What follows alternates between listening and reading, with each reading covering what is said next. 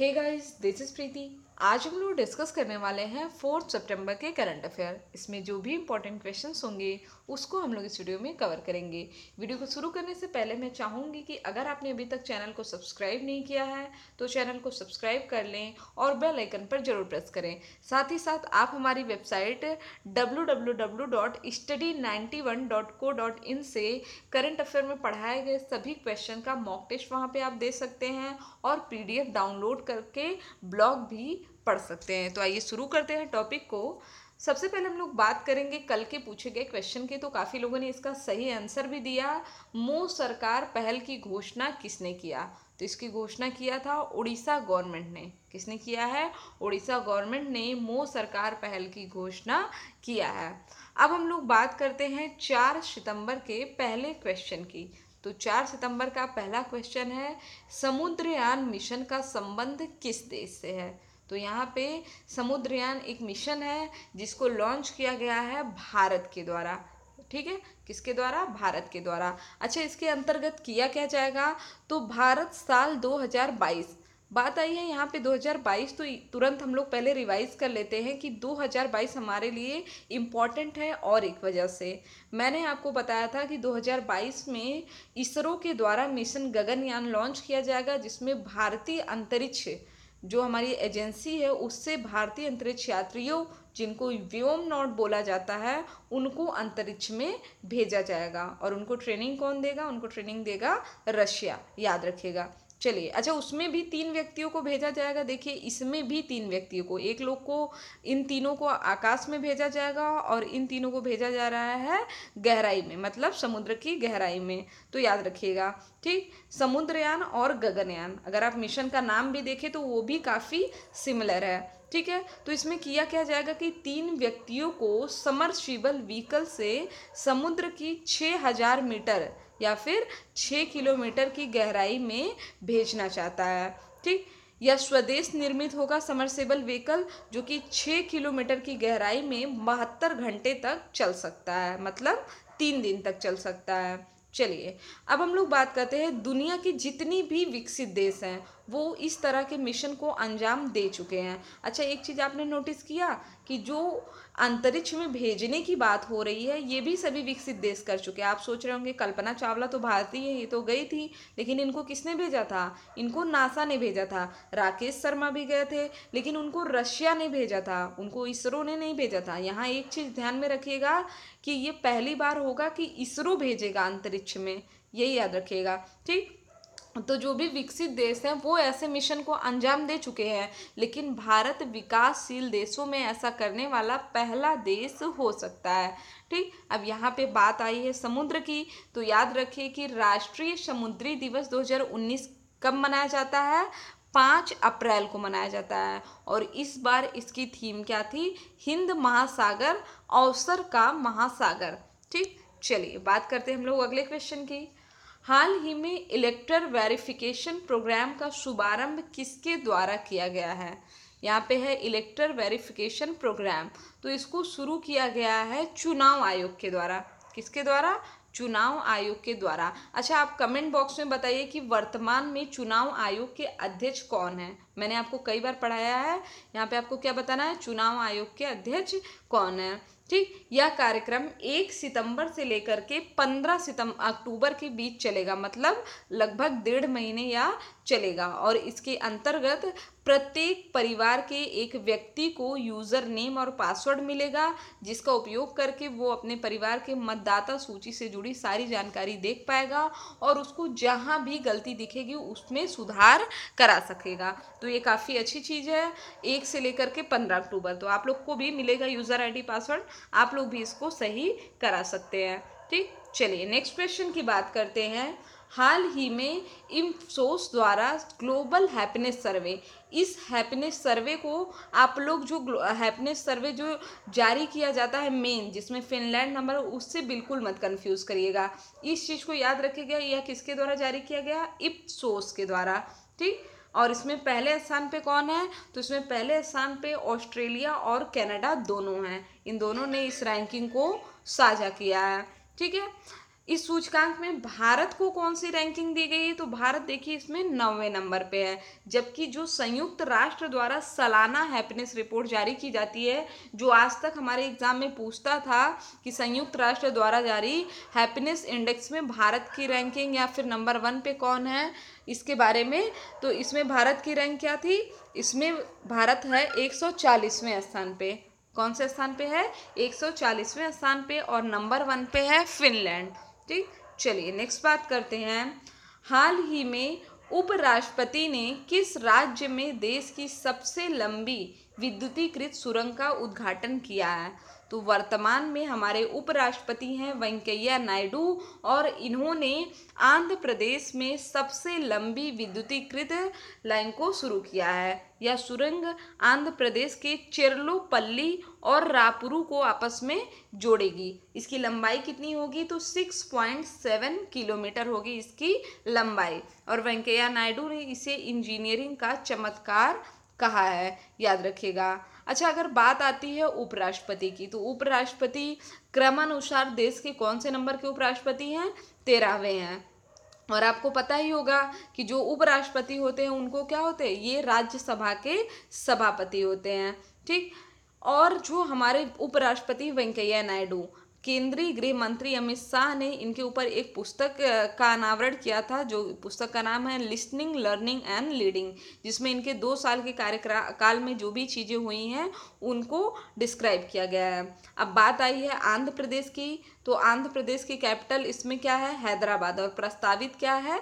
अमरावती। अच्छा आंध्र प्रदेश क्या है? भाषाई आधार पर गठित होने वाला पहला राज्य है। इसके अलावा अगर हम लोग आंध्र प्रदेश की बात करें तो हमारे भारत का अभी तक 24 हाई कोर्ट थे, लेकिन हमारे भारत में पच्चीसवां हाई कोर्ट कहाँ पे खुला है? आंध्र प्रदेश में खुला है। काफ़ी इंपॉर्टेंट है। और आंध्र प्रदेश की प्रस्तावित कैपिटल अमरावती को जस्टिस सिटी कहा जाता है। ये भी याद रखिएगा। अब बात आई है कि यहाँ के मुख्यमंत्री कौन है? तो मुख्यमंत्री हैं जगन मोहन रेड्डी और राज्यपाल हैं Vishwabhushan Harichandan. Okay? Next question है हमारा। भारतीय रेलवे के इतिहास पर a short history of Indian railways a short history of Indian railways book का नाम है, किसके द्वारा लिखा गया है? तो इस पुस्तक को लिखा गया है राजेंद्र बी अलेकर के द्वारा। किसके द्वारा? राजेंद्र बी अलेकर के द्वारा इस पुस्तक को लिखा गया है। अच्छा इसमें बताया क्या गया है, वो भी पढ़ लेते हैं। तो 1830 के दशक से लेकर के बुलेट ट्रेन तक की योजना का ज़िक्र किया गया है। आपको पता है, भारत में रेलवे का जनक किसे कहा जाता है? तो लार्ड डलहौजी को कहा जाता है। इसने पहली रेल चलाई थी मुंबई से थाड़े के बीच। कब चलाई थी? अठारह सौ तिरपन में चलाया था। ओके, चलिए। नेक्स्ट क्वेश्चन की बात करते हैं। अच्छा रेलवे की बात आई है तो ये बताइए कि इस समय भारत की सबसे तेज चलने वाली ट्रेन कौन सी है? और उसकी जो, उसके जो डब्बे बने हैं, जो कोच बने हैं, वे कहाँ की फैक्ट्री में बने हैं? ये कमेंट बॉक्स में आप बताइएगा।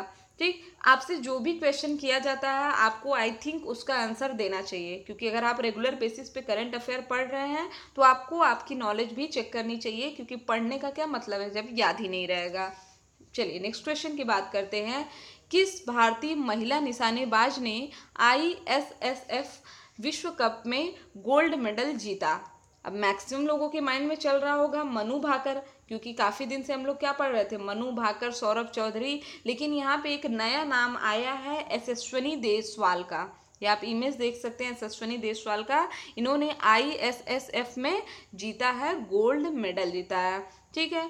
ये ब्राज़ील के प्रसिद्ध शहर रियो डी जेनेरियो में हुए इस टूर्नामेंट में महिलाओं की ten meter air pistol event में इन्होंने गोल्ड मेडल जीता है। और साथ ही साथ जापान की कैपिटल टोक्यो में होने वाला जो 2020 का ओलंपिक खेल है, उसमें भारत को नौवा कोटा भी दिलाया है। ठीक? इसमें एक क्वेश्चन इंपॉर्टेंट है कि टोक्यो ओलंपिक के लिए क्वालिफाई करने वाले पहले भारतीय खिलाड़ी कौन बने हैं? तो केटी इरफान बने हैं। ठीक है? याद रखिएगा। अगला क्वेश्चन हमारा, हाल ही में पहली प्लास्टिक मुक्त बॉलीवुड फ़िल्म कौन बनी है? इस समय आप देख रहे होंगे ना, एक तो जीआई टैग हो गया, एक तो ये प्लास्टिक मुक्त वाला। ये तो बहुत ज़्यादा चल रहा है कि प्लास्टिक मुक्त कौन सा सेक्टर बनने वाला है या कौन सी कंट्री बनने वाली है। रीज़न रीज़न ये है कि प्लास्टिक पोल्यूशन पे ध्यान ना देने की वजह से इतनी तेज़ी से ये बढ़ा है कि आज उसका रिज़ल्ट सबको देखने को मिल रहा है। समुद्रों में देखा जाए तो सबसे ज़्यादा कचरा कौन सा है? प्लास्टिक कचरा या फिर इलेक्ट्रॉनिक कचरा। तो इन सभी को कम करने के लिए इस तरह के कदम उठाए। जैसे अभी मैंने आपको बताया था कि नेपाल ने क्या किया है कि 30 माइक्रोन से पतली सभी प्लास्टिक को बैन कर दिया। भारत में भारतीय रेलवे ने और हमारी एयर इंडिया ने, इन्होंने कहा है कि 2 अक्टूबर 2019 से हम एकल सिंगल यूज़ वाली प्लास्टिक का प्रयोग नहीं करेंगे। ठीक? याद रखिएगा। और यहाँ पे आप देखिए, एक मूवी भी आ गई है तो इस मूवी का नाम क्या है? Coolie number one. अब इसको आप गोविंदा की कूली नंबर वन से मत कंप्लीट कंपेयर करिएगा। ये अभी वरुण धवन की आने वाली मूवी है। ठीक? इसमें क्या है कि डेविड धवन के द्वारा इसको निर्देशित किया गया है और इन्होंने इस पहल में एक नई चीज़ ऐड की है कि हम ऐसी मूवी भी बनाएँगे जो कि एकल सिंगल यूज़ वाली प्लास्टिक नहीं यूज़ की गई है इस पूरी मूवी में। ठीक? इस फ़िल्म के निर्देशक कौन है? डेविड धवन। इनके द्वारा इस पहल की शुरुआत की गई है क्योंकि पीएम ने स्वतंत्रता दिवस के भाषण में कहा था। ठीक? चलिए। बात करते हैं अगले क्वेश्चन की। गैस आधारित बिजली संयंत्र के लिए बांग्लादेश ने किस कंपनी के साथ समझौता किया? सॉरी यहाँ पे क्या होना चाहिए? किस भारतीय कंपनी? अब बांग्लादेश से मैं आपसे दो तीन क्वेश्चन पूछूँगी। सोच लीजिए कि कौन से क्वेश्चन मैं पूछने वाली हूँ। यहाँ पे बात आई है कि किस कंपनी के साथ समझौता किया है? तो रिलायंस से किया है। ठीक? रिलायंस के साथ बांग्लादेश ने गैस आधारित बिजली संयंत्र स्थापित करने के लिए समझौता किया है। इस समझौते के अनुसार, रिलायंस कंपनी के सहयोग से ढाका के पास मेघनाथ में 2022 तक साढ़े सात सौ मेगावाट का एक गैस आधारित संयंत्र स्थापित किया जाएगा। अब आई है बात बांग्लादेश की। तो इसकी कैपिटल है ढाका, मुद्रा है टका, राष्ट्रीय गान है आमार सोनार बांग्ला। पीएम है शेख हसीना। अच्छा बताइए शेख हसीना नदियों से संबंधित जल विवाद के लिए कब भारत का विज़िट करने वाली हैं? Question number one question number two है कि बांग्लादेश की लौह अयस्क खादान जो मिली पहली, वो कहाँ पे है? तीसरा है कि बांग्लादेश में कहाँ पर बर्न, जो प्लास्टिक सर्जरी का सबसे बड़ा संस्थान कहाँ पे खोला गया है? तो सोचिए, सोच लिया होगा आप लोगों ने, याद रखिए। जो हमारा लॉ एस के खादान है, वो बांग्लादेश के दिनाजपुर में मिला है। इसको याद रखिए। इसके अलावा बात आई है यहाँ पे ढाका की। तो जो बर्न और प्लास्टिक सर्जरी संस्थान है, वो ढाका में खुल रहा है। इसके अलावा बांग्लादेश ने नदियों को कानूनी व्यक्ति का दर्जा दे दिया है। याद रखिएगा। ठीक, चलिए। अगला क्वेश्चन है हमारा। ईस्टर्न इकोनॉमिक फोरम की पांचवी बैठक निम्नलिखित में से किस देश में आयोजित की जा रही है? तो इसको कहाँ पे आयोजित किया जा रहा है? इसको आयोजित किया जा रहा है रशिया में। विदेश मंत्रालय ने 20 सितंबर 2019 को इसकी घोषणा किया है कि 20 सितंबर को इसका आयोजन किया जाएगा। और इसके दो मुख्य उद्देश्यों में से एक है कि प्रधानमंत्री को पूर्वी आर्थिक मंच में मुख्य अतिथि के रूप में शामिल होने हेतु आमंत्रित करना। वे रूसी रा, राष्ट्रपति पुतिन के साथ बीसवीं वार्षिक द्विपक्षीय शिखर बैठक भी करेंगे। याद रखिएगा इस मंच की स्थापना कब हुई थी? 2015 में। किसने किया था? राष्ट्रपति व्लादिमीर पुतिन ने। रशिया के राष्ट्रपति हैं और इस फोरम के यह पांचवा आयोजन है। ठीक चलिए। अगला क्वेश्चन है हमारा हाल ही में किस देश के राष्ट्रपति द्वारा की गई एक घोषणा के अनुसार बोर्नियो द्वीप के पूर्वी कालीमंतन प्रांत को देश की नई राजधानी बनाया जाएगा? तो अगर आप करंट अफेयर पढ़ते होंगे तो इसका आंसर आप तुरंत सोच लिए होंगे। यहाँ पे हमारा सही आंसर क्या होगा? इंडोनेशिया। क्योंकि मैंने आपको पढ़ाया था कल परसों में कि इंडोनेशिया क्या करने वाला है, जो अपनी राजधानी बनाएगा, वो कहाँ बनाएगा? बोर्नियो द्वीप पर बनाएगा। इसको याद रखेगा बहुत इंपॉर्टेंट है। ठीक? तो बोर्नियो द्वीप, और अगर अब आपसे पूछे कि सॉरी इंडोनेशिया हमारा, ठीक? तो इंडोनेशिया क्या करेगा? काली मंथन प्रांत को बनाया है अपनी नई राजधानी, याद रखिएगा। रीज़न क्या था? रीज़न था कि इसके पहले राजधानी थी जकार्ता, जो कि डूब रहा था। और राष्ट्रपति ने घोषणा करके कहा कि देश की राजधानी पूर्वी कालीमंतन प्रांत को बनाया जाएगा, जो कि बोर्नियो द्वीप से अगर, नहीं, जकार्ता से लगभग 1400 किलोमीटर द्वीप स्थित है बोर्नियो और यहीं पर है कालीमंतन कालीमंतन की बात करें तो यह खनिज समृद्ध एरिया है पूरा और वर्षा वनों द्वारा आच्छादित है। नेक्स्ट क्वेश्चन अब हमारा कल का क्वेश्चन तो सम, आज का हमारा क्वेश्चन समाप्त हो गया। अब हम लोग कल के क्वेश्चन का रिवीजन कर लेते हैं। तो पहला क्वेश्चन हमारा हिमाचल प्रदेश के राज्यपाल कौन बने हैं? यहाँ पे बने हैं बंडारू दत्तात्रेय बने हैं हिमाचल प्रदेश के नए राज्यपाल। नेक्स्ट है हमारा फिट इंडिया के रिपोर्ट कार्ड में किस देश का सबसे अनफिट शहर कौन सा है? कोलकाता और सबसे फिट शहर कौन सा है? बंगलुरु। अगला है हमारा बीएसएफ का महानिदेशक किसे बनाया गया? तो वी के जौहरी को। फिर हमारा है कि सितंबर 2019 को किस रूप में मनाए जाने की घोषणा की गई है? तो इसको राष्ट्रीय पोषण माह के रूप में मनाए जाने की घोषणा की गई है। अगला क्वेश्चन है हमारा under 15 SAFF football championship SAFF football championship का खिताब किसने जीता है? तो भारत ने। नेक्स्ट है हमारा कि बिल्ड फॉर डिजिटल इंडिया के लिए किसके साथ एक समझौता किया गया है? तो यहाँ पे गूगल के साथ समझौता किया गया है। अगला क्वेश्चन हमारा कि मेगा वेंडर मीट 2019 का आयोजन कहाँ पर किया गया? लखनऊ में। अच्छा ये किससे संबंधित है? ये रेलवे से संबंधित है। ओके? किस देश ने space com space command launch करने की घोषणा किया है? अमेरिका ने इसकी घोषणा किया है। फिर हमारा कि टी ट्वेंटी में सबसे ज़्यादा विकेट लेने वाले गेंदबाज कौन बने हैं? लसित मलिंगा। इसके पहले कौन थे? शाहिद आफरीदी। यूएनसीडी के कॉप फोर्टीन के चौदहवें सत्र की मेजबानी कौन करेगा? तो भारत करेगा। अब आपके लिए क्वेश्चन है तो आप सभी को इसका आंसर पता चल गया। अच्छा आप मुझे बताइएगा, कितने राज्यों में राज्यपाल चेंज हुए हैं? और जो नए राज्यपाल बने हैं, उनका नाम। ठीक? अब ये हो गया ना, आपके पास पाँच क्वेश्चन हो गया टोटल इसको आपको बताना है।